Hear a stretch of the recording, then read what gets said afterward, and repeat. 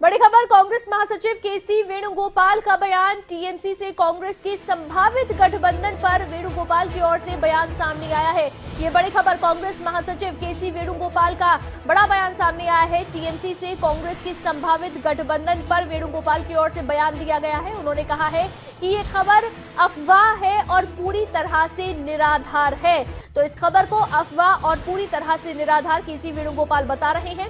आपको बता दें, उन्होंने ये भी कहा कि कांग्रेस नेता राहुल गांधी ने ऐसी कोई चर्चा नहीं की है। ये ट्वीट है जो केसी वेणुगोपाल की ओर से किया गया है। दरअसल आपको बता दें कि गोवा के अंदर चूँकि विधानसभा चुनाव है और ऐसे में ये लगातार अटकलें लगाई जा रही थी कि गोवा में टीएमसी और कांग्रेस के बीच गठबंधन हो सकता है। और अब केसी वेणुगोपाल की ओर से, कांग्रेस महासचिव की ओर से यह बड़ा बयान दिया गया है ट्वीट के माध्यम से, जिसमें केसी वेणुगोपाल कह रहे हैं कि टीएमसी के साथ गठबंधन कांग्रेस का नहीं होने वाला है गोवा में। और ये उनकी ओर से ट्वीट है, जिसमें लिखा है कि कांग्रेस पार्टी पूरी तरह से कॉन्फिडेंट है कि गोवा में एक बार फिर से विजय होने के पद पर पार्टी आगे बढ़ेगी। तो गोवा में किसी भी तरह के गठबंधन से, किसी भी वेणुगोपाल की ओर से इनकार कर दिया गया उन्होंने इसे अफवाह और निराधार बताया है।